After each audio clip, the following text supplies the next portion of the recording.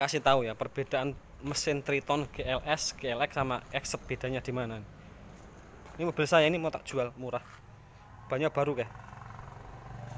Banyak depan belakang baru, pajaknya baru, platnya baru, sarung joknya baru. Interiornya tuh, sarung joknya baru tuh. AC-nya dingin, 4 kali 4 nya wena, double kardane wena. Lihat mesinnya ya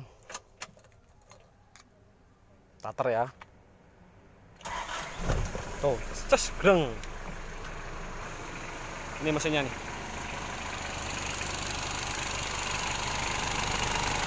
Wah seger mesinnya.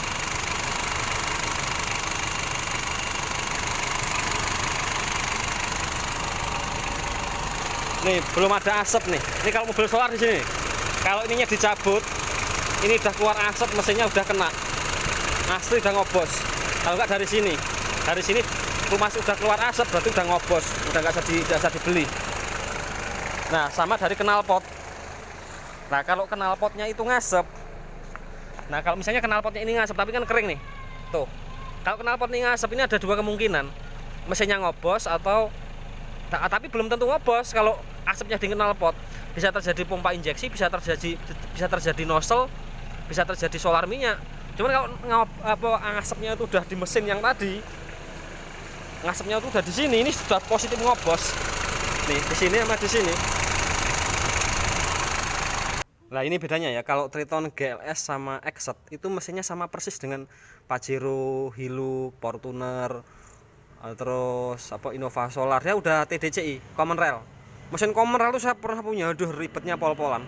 Jadi dari ini bos pom dia naik ke injektor namanya injektor kalau di common rail bukan nozzle. Nah di sini dari injek, kepala injektor ini dia ada ada ada apanya itu? Ada sensornya. Atas sensor itu ada ada, ada eh, di atas sensor itu ada ada soket. Soketnya itu kan ada kabelnya. Kabelnya itu lari ke lari ke ECU sama ECU diproses untuk ngatur minyak. Karena kan keluarnya minyak itu kalau TDCI itu diesel TDCI itu itu kan diatur oleh setrum oleh komputer gitu loh. Makanya jangan coba-coba punya yang TDCI atau diesel elektrik. Ya dandanya setengah mati saya saya pernah punya. Nah apa sementara ini yang yang masih pakai diesel konvensional tuh cuman Triton yang di bawah tahun 2014 kalau yang lain udah nggak ada. Semua mesin diesel di atas 2014 sudah udah elektrik semua udah common rail. Common rail itu salah minyak dikit udah selesai mesinnya aku tuh pernah dulu gara-gara apa mesin kamera tuh TDC ya Triton GLS aku salah ngisi minyak di lahat kena 25 juta jantan injektor ini. Satu ini 6 juta ini. 6 juta itu satu ini. Udah mentem pokoknya.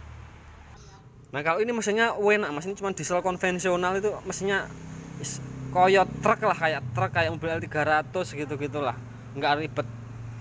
Tapi jangan coba-coba punya apa mesin apa itu punya Titan GLS atau Exet kalau belum siap atau Pajero ya.